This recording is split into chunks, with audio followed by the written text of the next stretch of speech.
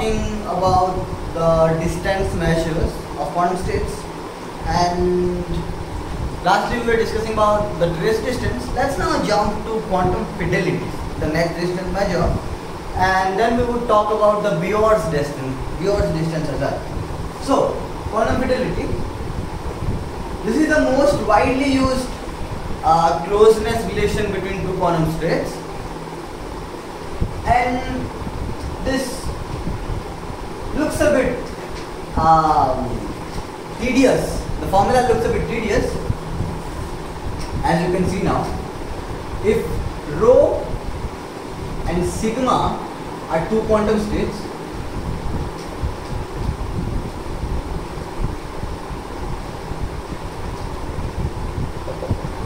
then their fidelity is given by this formula trace of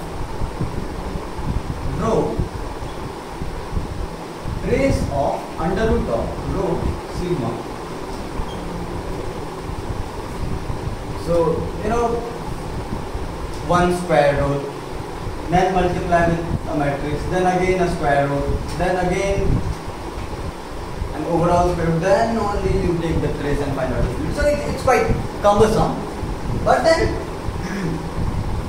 the cases to which it reduces look look quite simpler okay? And we would be seeing those things basically. How do we make this formula easier for us? All right. Let me tell you one thing. The idea of quantum fidelity came from the notion of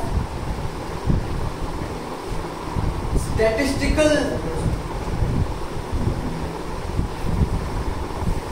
so the idea of quantum fidelity comes from the notion of statistical overlap.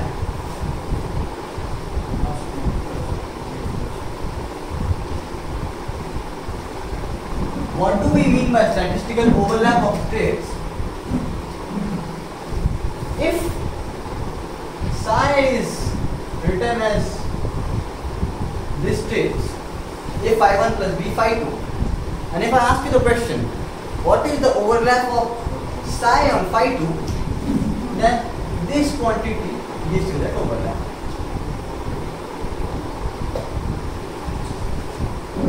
Alright. Overlap is basically the projection of one particular state to another state. So how much psi is overlapping on psi phi 2 is given by this parameter. This is otherwise the probability of the state okay. We will be seeing this formula in few minutes from now. Then how does this formula simplify further? If rho state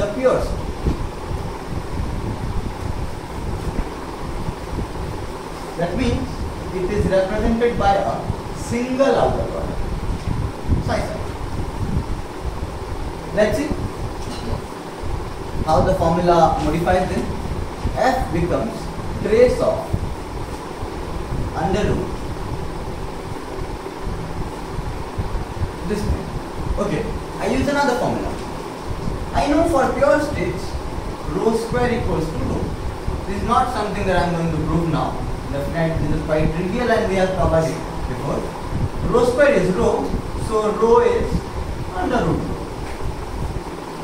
That means this under root rho can be replaced by rho and this under root rho can be replaced by this rho. Clear?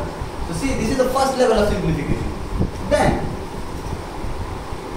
this is trace of rho is psi psi then sigma then again rho. Alright? Trace a big square root and then see this is the inner product. That means a number. And a number can be put to left can be put to right. So I pull this number to the left and write it here. Psi sigma psi. And what I am left with is this outer product. So this side and this side now as we have been doing so far I take the trace inside and operate it on the matrix. Because the trace would operate only on the matrix.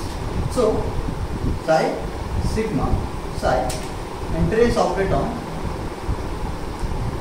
this. Then, we know this result will be the inner product, this which is equal to 1. And finally, we are left with under root of sorry sigma psi. So this is the final formula. That means if rho is a pure state, then our fidelity formula becomes trace of sorry square root of psi sigma psi where psi makes the rho. Okay?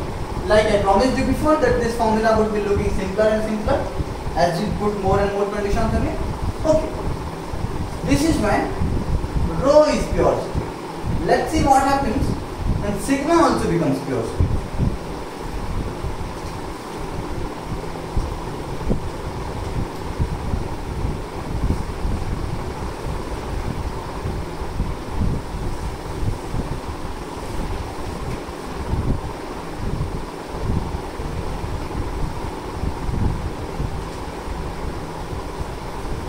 So, when both rho and sigma are pure splits. Given by rho equals to psi psi and sigma equals to phi phi, what happens? the same formalism. To first plug them in here with the notion that rho is since rho is pure state I have this already we have done this before so I apply it here. This becomes rho sigma rho in the next step trace of. Now rho I plug in as psi psi sigma I plug in as phi phi and again rho I plug in as psi psi. Now see carefully. This is the inner product. This is also inner product. This is phi. This is psi. Psi phi, phi psi. So they are simply conjugate of each other. That means together this is nothing but phi's modulus.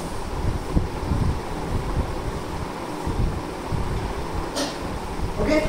Then, what I'm left with is trace. I take this to the left.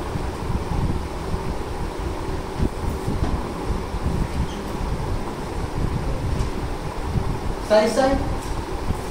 This is a number, so the trace goes inside and operates on this outer product.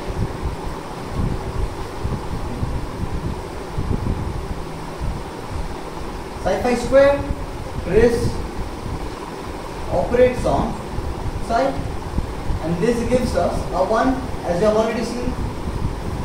This means only this part survives under the square root and the square and the root cancel and I get psi phi. So, if both the states are pure, then my fidelity is the following, which is simply the inner product of them. And this is what you mean by a overlap, the usual vector projection. Okay, now that I have found this formula,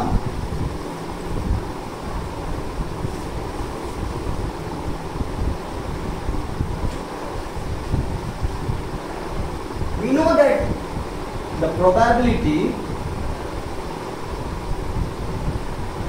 of finding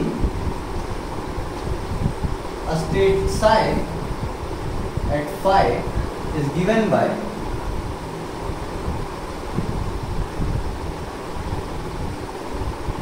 psi phi the mod square.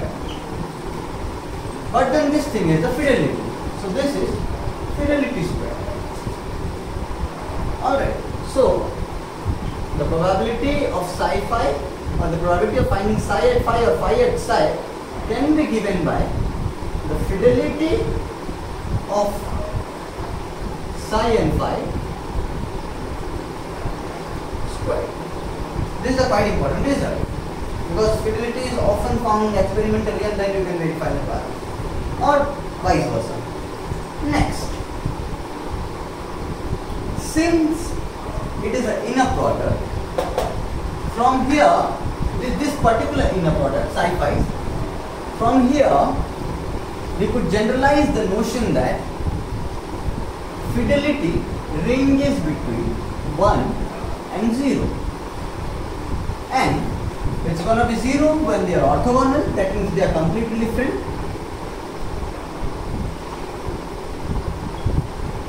It's 1 when they are same or equal.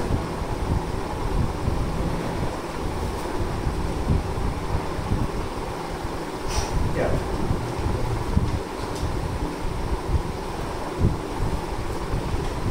Let me make certain more remarks on fidelity. Fidelity is invariant under unitary transformation. That means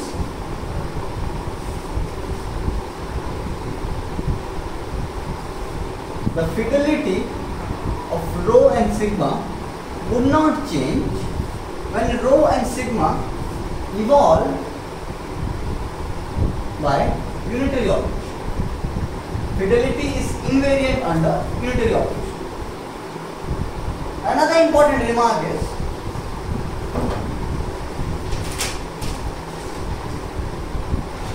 here.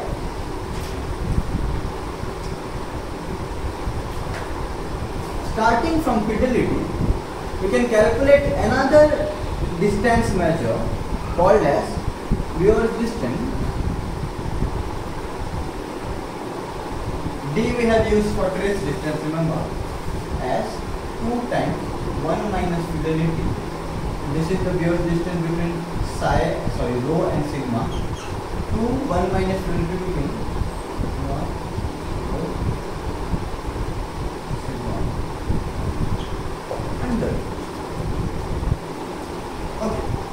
And the remark is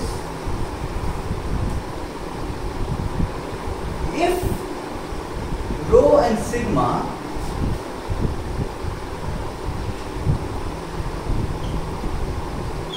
are commuting, if rho and sigma are commuting, then the fidelity looks further simpler. But before that, if they commute, then they are diagonalizable in the same basis. So I represent rho as something like px xx as per the spectral decomposition theorem, qx xx, and then the fidelity is very simply given by this sigma x under root px qx. And we saw something like this in case of our trace distance as well, and we proved that exclusively. So let's prove it exclusively then in our next lecture.